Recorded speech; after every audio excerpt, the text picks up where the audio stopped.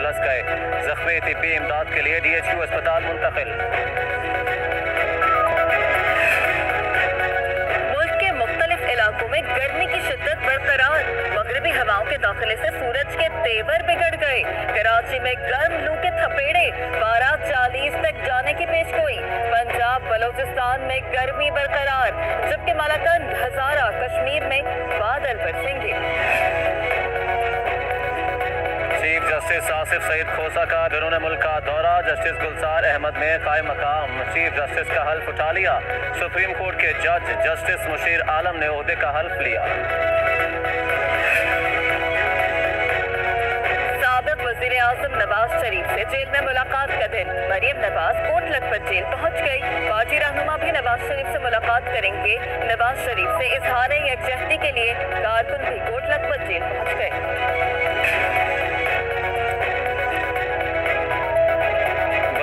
تیاریاں عروج پر پنجاب کے مختلف محکموں کی بجٹ سفارشات تیار کر لی گئی پبلک بلڈنگ کے لیے آٹھ ارب اربن ڈیولپمنٹ کے لیے سات ارب زراعت کے لیے بارہ ارب رکھنے کی سفارش، لائف سٹاک کے لیے پانچ ارب انڈسٹری اور کامرس کے لیے گیارہ ارب مختص کیے جانے کی تجویز دی گئی ہے۔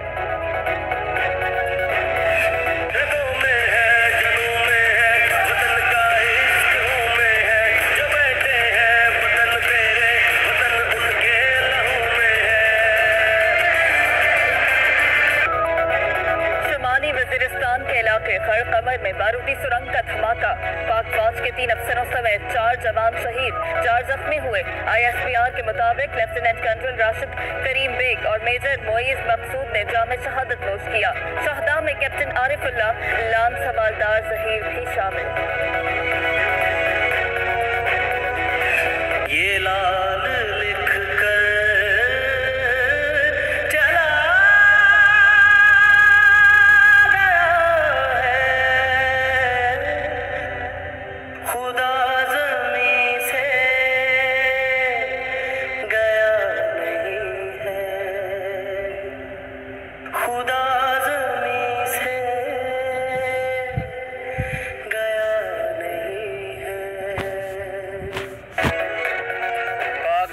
دہشت گردی سے پاک کرنے کا مشن شمالی وزیرستان میں گزشتہ ایک ماہ میں دس سیکیورٹی اہلکاروں نے وطن پر جان قربان کی۔ پینتیس زخمی ہوئے۔ ترجمان پاک فوج کے مطابق دہشت گردوں نے سڑک پر بارودی مواد نصب کیا۔ اسی مقام پر فورسز نے سرچ آپریشن کر کے چند سہولت کاروں کو گرفتار کیا تھا۔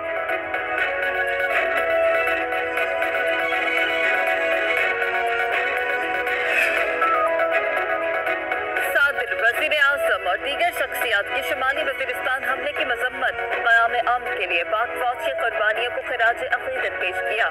صادر عارف الوی کہتے ہیں، پوری قوم شرپسند عناصر کے خلاف متحد ہے۔ وزیر اعظم عمران خان نے کہا، غیور قبائل کو برقلانے کی کوشش کامیاب نہیں ہونے دی جائے گی۔ محسن داوڑ اور علی وزیر قمر میں چیک پوسٹ پر حملے کے ذمہ دار قرار دونوں اراکین اسمبلی نے مظاہرین کو شر پسندی پر اکسایا۔ ڈپٹی کمشنر شمالی وزیرستان نے رپورٹ خیبر پختونخوا حکومت کو ارسال کر دی۔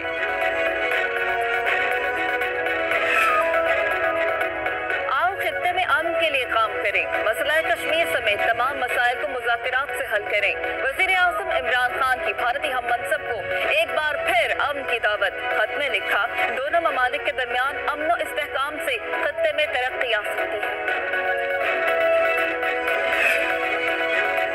دفاعی بجٹ میں آئی ایم ایف کے کہنے پر کمی نہیں کی، شاہ محمود قریشی کہتے ہیں افواج پاکستان نے رضا کارانہ طور پر یہ فیصلہ کیا، کہتے ہیں کیا اپوزیشن کے احتجاج کے اعلان سے جمہوریت کی خدمت ہوگی؟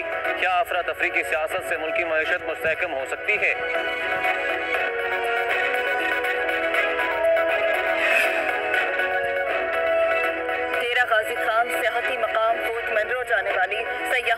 گاڑیاں، حادثے کا شکار۔ بیس افراد شدید زخمی ہو گئے، اسپتال منتقل۔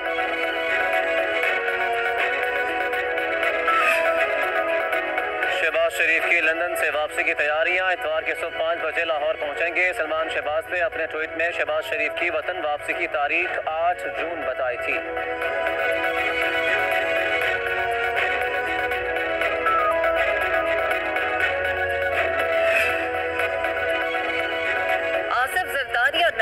آصف ایک دوسرے کو داؤ پر لگانے کے چکر میں ہے۔ کوئی احتجاجی تحریک نہیں چلے گی۔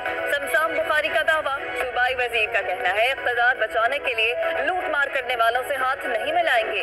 شہباز شریف لندن سے واپسی پر اس ساتھ ڈار کو ساتھ لانا نہ بھولیے گا۔ مقبوضہ کشمیر میں بھارتی بربریت جاری قابض فاش کا نام نہاد سرچ آپریشن، مظلوموں کے گھر بارود سے اڑا دیے چار کشمیری نوجوان شہید، مظاہرین پر پیلٹ گن سے فائرنگ، درجنوں زخمی، امن کا ڈھنڈورا پیٹنے والی عالمی طاقتیں خاموش تماشائی بن کر رہ گئی